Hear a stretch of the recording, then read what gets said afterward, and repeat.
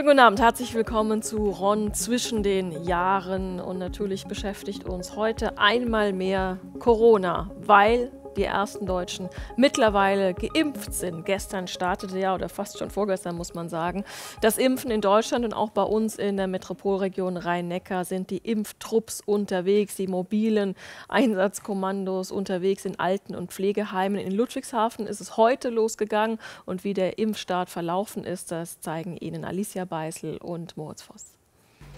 Die ersten Piekse sind gemacht und schon macht sich Erleichterung breit. Es ist ein Zeichen der Hoffnung. Viele Menschen wissen, es ist ähm, ja einer der Mosaiksteine der ganz, ganz wichtigen, um die Pandemie zu bekämpfen. Und dass wir heute mit den vulnerablen Gruppen beginnen. Bewohnerinnen und Bewohner von Senioren- und Altenpflegeheimen werden zuerst geimpft. Ebenso Personen, die über 80 Jahre alt sind. Auch Tätige in medizinischen Einrichtungen wie in Notaufnahmen oder das Pflegepersonal von Covid-19-Patientinnen und Patienten stehen auf der Impfliste. Die Impfung selbst bleibt freiwillig und kostenlos. Trotzdem appelliert Winfried Kretschmann an die Bevölkerung. Wir können die Pandemie nur durch Impfen besiegen. Die Alternative wäre eine Durchseuchung der Bevölkerung. Das würde viele Jahre dauern und wäre mit Hunderttausenden Toten und mit schweren Erkrankungen zu bezahlen. Diese Option besteht nicht. Trotz anfänglichen Optimismus werden die kommenden Wochen und Monate angespannt bleiben. Es ist auch weiterhin das vorrangige Ziel, die Zahl der Neuinfektionen so gering wie möglich zu halten und die Krankenhäuser und Intensivstationen zu entlasten. Rücksicht, Solidarität und die AHA-Regeln stehen weiterhin auf der Tagesordnung eines jeden. Vor allem jetzt, wo Meldungen von der Mutation des Virus die Runde machen. Wir gehen heute davon aus, nach dem, was wir wissen, dass auch diese Varianten, die bisher aufgetreten sind, dass die sensibel sind, also dass der Impfschutz gegen diese Varianten auch helfen wird, schützen wird. Was in der Zukunft sein wird, das können wir heute schlecht abschätzen, aber wir gehen heute davon aus, dass, es, dass, der, dass die Impfung dagegen wirksam ist. Auch Winfried Kretschmann kann Zweifelnde beruhigen. Alle Ergebnisse und Studien zeigen, der Impfstoff ist sicher und wirksam. Kein Medikament ist so gut geprüft wie ein Impfstoff. Inzwischen haben in den USA und Großbritannien schon mehrere hunderttausend Menschen den BioNTech-Impfstoff bekommen. Schwere Nebenwirkungen sind bisher nicht aufgetreten. Der 27. Dezember, der gestrige Sonntag, der Startschuss für die Impfungen. Und für viele auch ein Meilenstein auf dem Weg Richtung besseres und gesünderes Jahr 2021. Über den Impfstart hat Moritz Voss mit Dr. Andreas Welker vom Gesundheitsamt Rhein-Neckar und Heidelberg gesprochen. Herr Dr. Welker, seit gestern können sich die Menschen gegen das Coronavirus impfen lassen. Wie ist denn der Impfstart gestern abgelaufen? Wie war die Resonanz? Die Resonanz war schon sehr, sehr gut. Wir haben ja zum einen im zentralen Impfzentrum im Patrick Henry Village in Heidelberg geimpft. Da waren schon 278 Personen dort. Und wir waren auch schon direkt mit den mobilen Teams vor Ort in den Alten- und Pflegeheimen und haben dort schon gestern 114 Personen geimpft. Können Sie uns mal mitnehmen, wie läuft denn da so eine Impfung ab? Gerne. Die Anmeldung kann über verschiedene Wege erfolgen. Die Alten- und Pflegeheime melden separat an uns, weil da natürlich auch mehr logistischer Vorlauf ist mit den Einwilligungserklärungen, den Aufklärungen der Betreuer. Ähm, eine andere Personen können sich direkt entweder über eine App, über die Website oder die Telefonnummer 116 117 direkt einen Impftermin geben lassen. Dann kommen Sie zu Ihrem Impftermin ans Impfzentrum. Das Impfzentrum ist dann so, dass Sie erst einen Check-in-Bereich haben, wo geschaut wird, ob Sie auch wirklich einen Termin haben.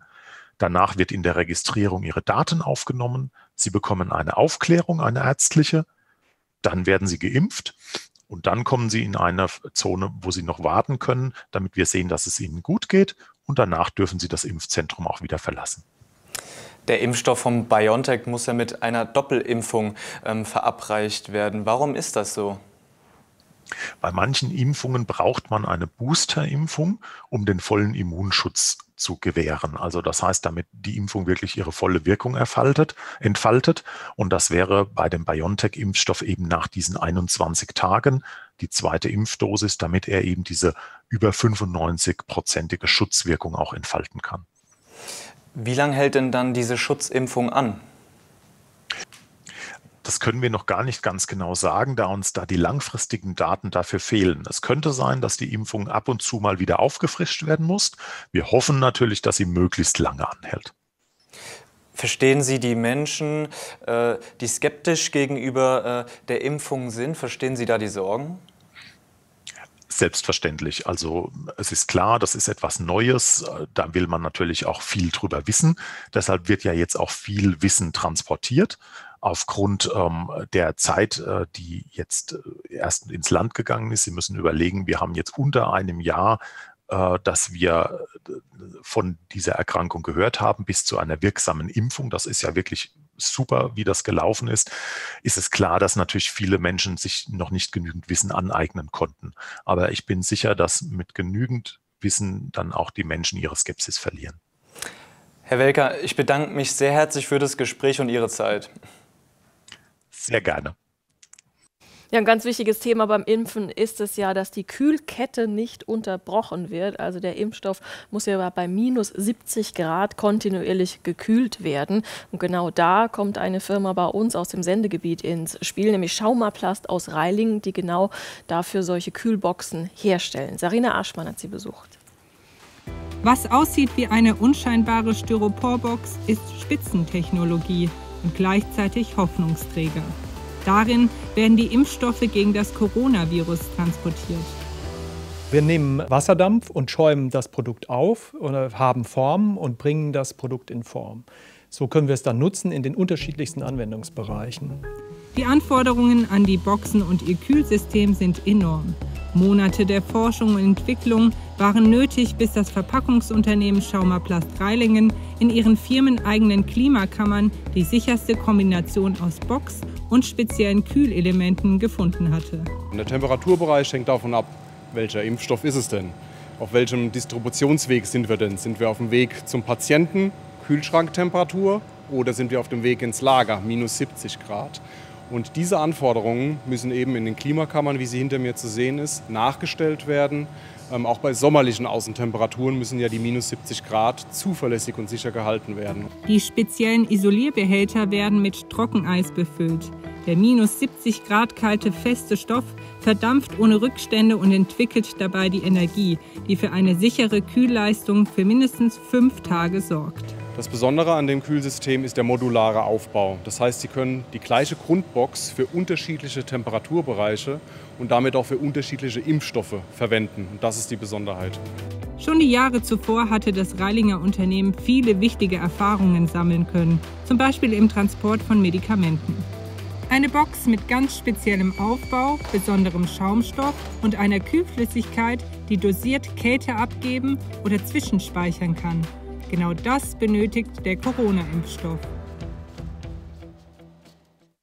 Ja, wie wichtig dieser Impfstoff ist, das zeigen auch die aktuellen Zahlen. Es gibt jetzt nämlich wieder größere Corona-Ausbrüche in Heidelberg und im Rhein-Neckar-Kreis. Betroffen sind Alten- und Pflegeeinrichtungen. In Heidelberg haben sich dort 26 Menschen infiziert, sind positiv auf Covid-19 getestet worden. In Bammental sind es 24 und in Malsch 22. Also das nochmal aktuelle Infektionszahlen. Jetzt die weiteren Meldungen des Tages von Julia Schmidt. Neuer Spitzenreiter. Die deutschlandweit schnellsten Finanzämter im Jahr 2020 kommen aus Rheinland-Pfalz. Hier dauerte die Bearbeitungszeit im Schnitt 46,2 Tage. Das geht aus der Datenerhebung der Online-Steuererklärung lohnsteuerkompakt.de hervor. Damit ist Rheinland-Pfalz schneller als Vorjahressieger Nordrhein-Westfalen mit 48,2 Tagen. Platz 2 belegt wie auch schon 2019 das Saarland. Insgesamt ist die durchschnittliche Bearbeitungsdauer in ganz Deutschland 2020 gesunken. Die Digitalisierungsstrategie der Finanzbehörden zeige also eine positive Wirkung. So Geschäftsführer von lohnsteuerkompakt.de.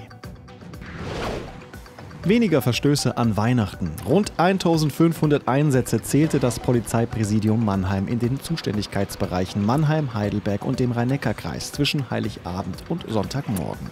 Das sind rund ein Drittel weniger als noch in den Vorjahren. Als Grund hierfür nennt die Polizei das disziplinierte Corona-bedingte Verhalten der Bürgerinnen und Bürger. Ruhestörungen, Verkehrsunfälle, aber auch Alkohol am Steuer beschäftigten die Beamten überwiegend an den Feiertagen. Die Zahl der Verstöße gegen die geltenden Corona-Verordnungen fielen dagegen gering aus. RNV reagiert. Bis mindestens 10. Januar geht das Unternehmen Rhein-Neckar-Verkehr mit einem Sonderfahrplan an den Start.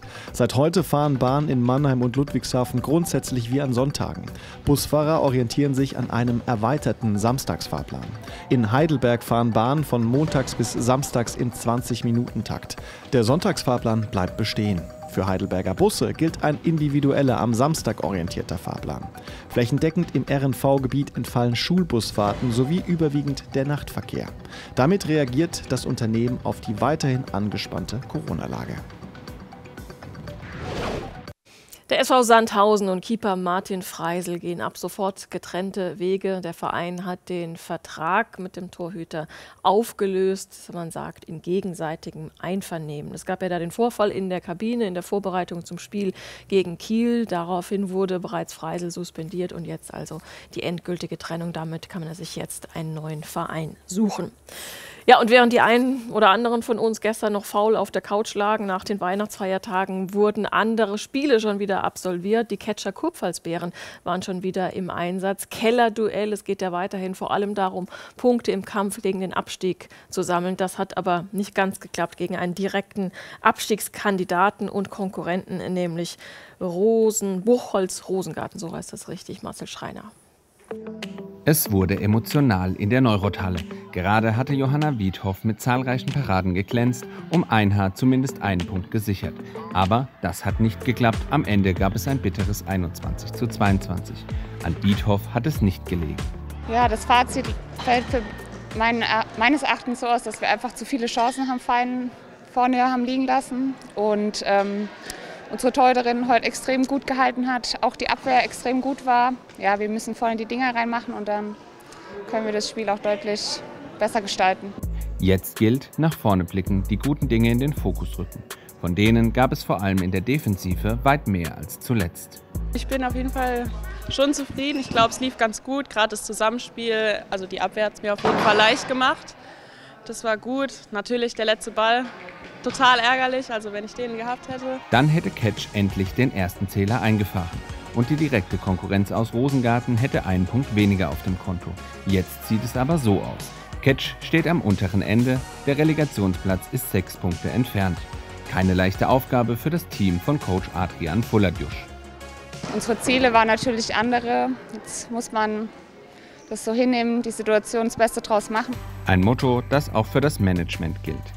Denn trotz der bescheidenen finanziellen Möglichkeiten versucht Catch in der Bundesliga zu bestehen.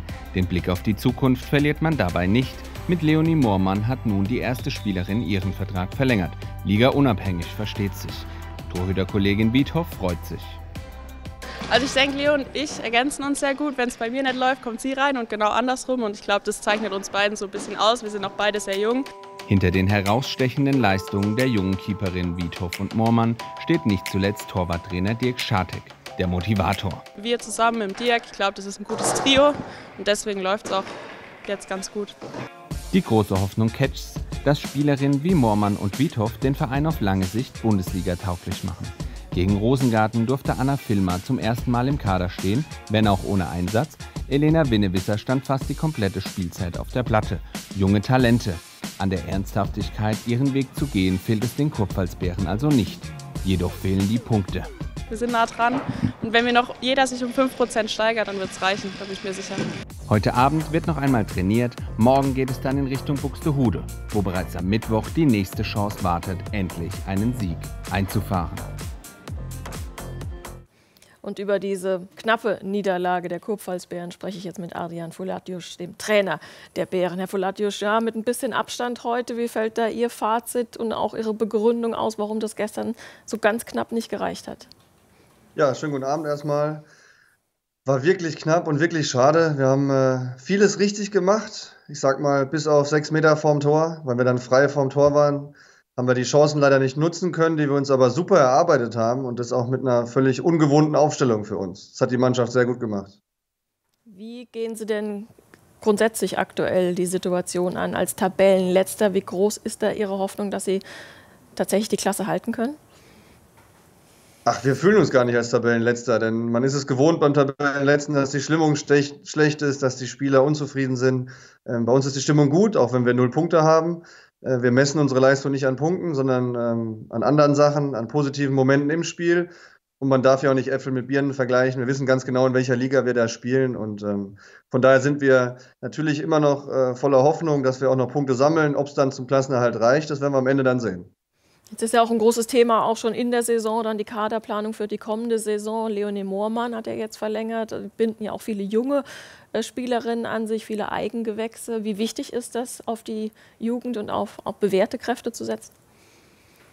Ja, das ist unser Markenzeichen und das brauchen wir auch für die Zukunft, um wieder neue Talente zu uns zu holen in den Jugendmannschaften. Und da ist die Kaderplanung bei uns eigentlich immer ein bisschen langweilig im Vergleich zu anderen Vereinen, denn oftmals verlängern alle Spieler und es werden nur ein, zwei, drei junge Talente aus der eigenen Jugend hochgezogen. Aber ähm, das sind wir gewohnt, das äh, freut mich auch und ich habe schon wieder viele Talente auch im Blick in der Jugend, auf die ich mich in den nächsten Jahren freue, die dann den nächsten Schritt machen. Jetzt haben Sie auch einen ziemlich prallen Terminkalender, also kaum ist Weihnachten rum, schon wieder ein Spiel trainiert. Ich glaube, morgen geht es schon wieder nach Buxtehude. Wie gehen Sie den Terminstress an? Wie, wie stemmen Sie das auch mit Ihren Spielerinnen? Ich glaube, es gibt Schlimmeres als zu spielen. Und wenn man die Spieler fragt, die wollen auch lieber spielen als trainieren. Ich persönlich trainiere lieber, weil da kann man Sachen erarbeiten. Aber ja, Terminkalender voll. Also Sonntag gespielt, Dienstag Abfahrt, Mittwoch spielen. Dann kommen wir am 31. früh wieder und äh, am 1.1. trainieren wir wieder, weil wir am 2. schon wieder auf der Platte stehen müssen. Also ähm, ja, ist ein bisschen stressig, aber macht Spaß und dafür machen wir das ganze Jahr, dass wir spielen können in der ersten Bundesliga. Ja, noch schöner wäre es ja, wenn sie auch tatsächlich vor Zuschauern spielen könnten, was aktuell nicht möglich ist. Wie hart ist das für Sie? Ich glaube, ähm, beim Thema Corona gibt es äh, schlimmere Dinge, als dass der Handball ohne Zuschauer spielt. Wir sind froh, dass wir spielen dürfen und äh, unser Dank gilt allen, die in der Phase in Corona sich um die wichtigen Dinge kümmern, dass wir alle gesund bleiben. Und ähm, ja, daher ist es für uns, wir machen uns da keine Gedanken. In diesem Sinne alles Gute für die kommenden Aufgaben und einen guten Rutsch ins neue Jahr. Dankeschön, Adrian Fulatius. Danke Ihnen auch. Das Interview haben wir vor der Sendung so aufgezeichnet.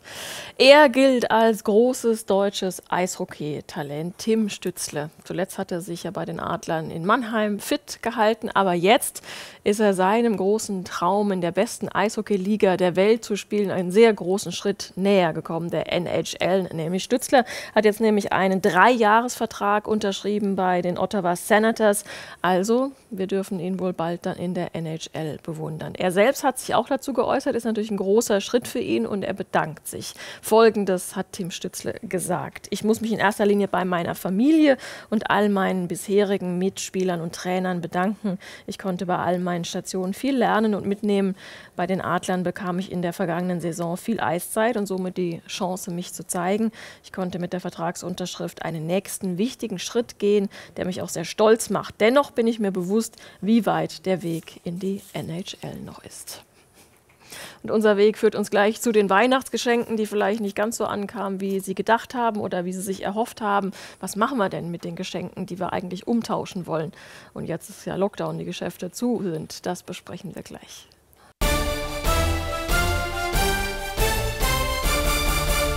Willkommen zurück bei Ron. Und bevor wir über Silvester sprechen, was ja eben schon in der Werbung großes Thema war, schauen wir nochmal zurück auf Weihnachten. Vielleicht haben Sie ja auch das ein oder andere Geschenk bekommen, was Ihnen nicht so ganz gut gefällt, was vielleicht nicht passt oder was Sie schon doppelt haben. Dann würden wir ja normalerweise jetzt zwischen den Jahren in die Geschäfte rennen und die Artikel umtauschen. Geht aber momentan schlecht, weil alle Geschäfte geschlossen sind. Welche Rechte habe ich denn als Verbraucher jetzt trotzdem noch, meine Ware umzutauschen? Das zeigen wir Ihnen alle Jahre wieder das falsche Geschenk. Da hilft nur eins.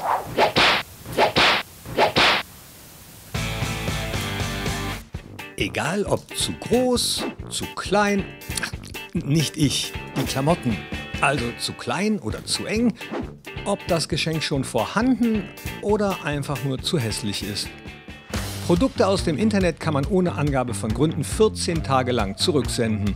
Den Versand muss man je nach Händler manchmal allerdings selbst bezahlen und das kann teuer werden. Ausgenommen von diesem Recht sind Hygieneartikel, Maßanfertigungen, Medikamente oder auch DVDs und Spiele, deren Siegel beschädigt wurde.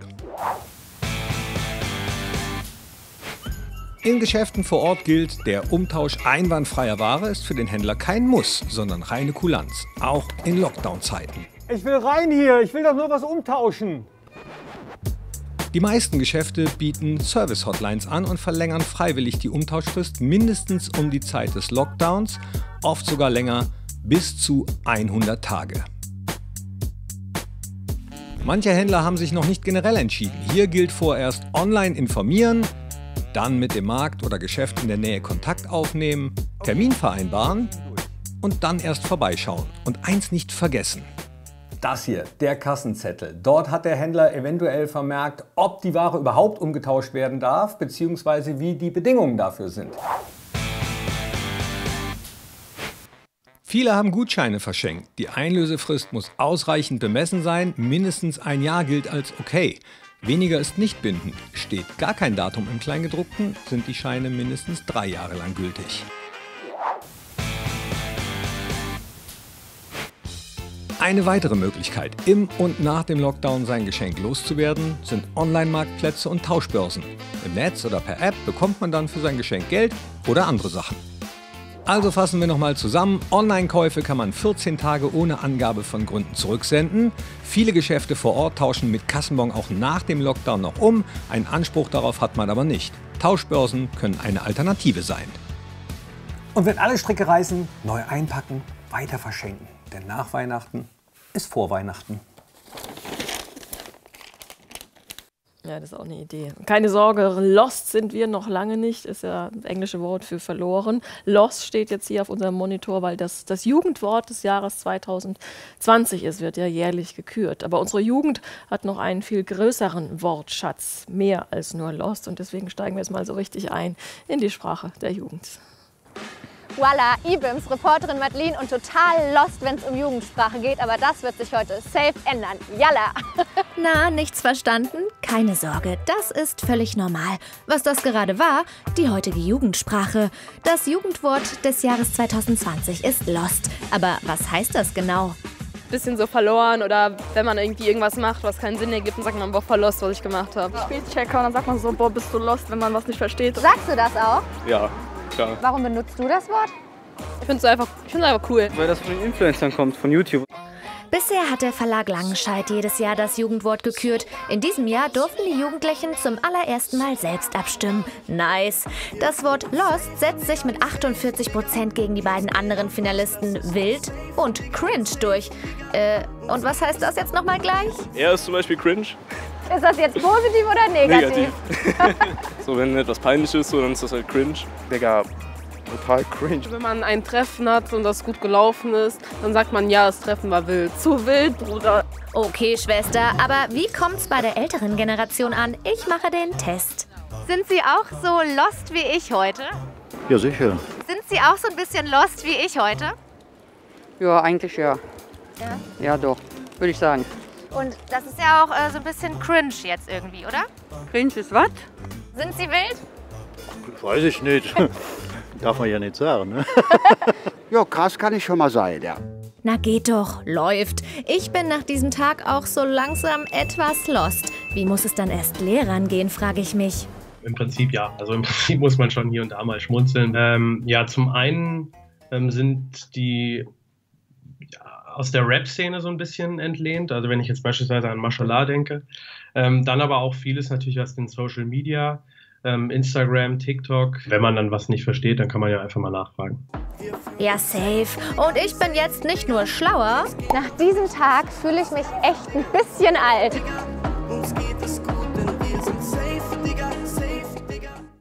Ja, alt, aber immerhin was gelernt. Und wir zeigen Ihnen noch die Wetteraussichten für die nächsten Tage.